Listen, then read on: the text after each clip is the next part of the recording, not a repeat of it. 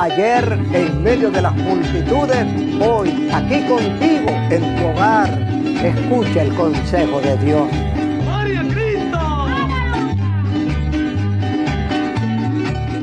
En Romanos 8, 18 nos dice la escritura que las aflicciones del tiempo presente no son comparables con la gloria venidera que en nosotros ha de ser manifestada.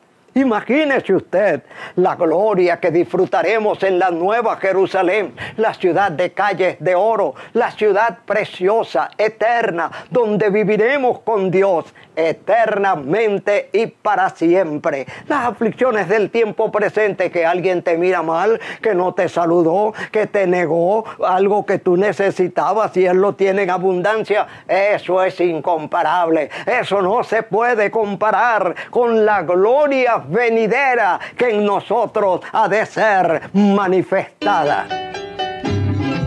No hemos quebrado, estamos disfrutando el descanso del guerrero. Mañana volverán las multitudes y serán diez veces mayores que antes.